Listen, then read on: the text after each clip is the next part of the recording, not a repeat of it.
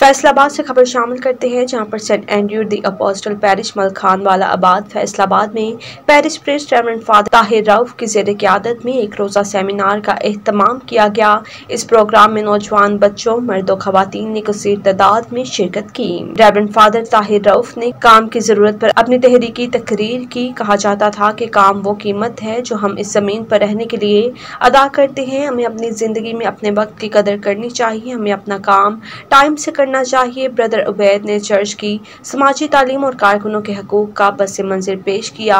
जनाब दिलदार भट्टी, गवर्नमेंट में professor, technical institute F S D उन्होंने सनती तलब की महारत की कदर पर ज़ोर दिया। सर जेम्स लाल ने नौजवानों को मुखातिब करते हुए कहा कि कामयाब मुस्तबिल के लिए मेहनत और ईमानदारी ज़रूरी है। लिहाजा कैटेकिज्म सीखना एक हकीकी मसीही ज़िंदगी गुजारने की कलीद है। आखिर में रेवरेंड फादर ताहिर रऊफ ने कहा है कि हम इज़्ज़त माँ बिशप डॉक्टर इंदरियाज अहमद की हमायत और नेमतों के लिए शुक्रगुजार है। रेवरेंड फादर ताहिर रऊफ ने सेमिनार में आए हुए मेहमानों, नौजवानों, तमाम मोमिन का शुक्रिया अदा किया। सेंट एंड्रयू टेक्निकल स्कूल के तमाम ट्रेनर्स मेहमानों, नौजवानों, तमाम मोमिन ने दोपहर का खाना खाया। मिस्टर अकमल गिल और उनकी टीम ने तकसीम किया। प्रोग्राम के आखिर में नौजवानों के मुस्तबिल तरक्की के लिए खसूसी दुआएँ मांगी गई।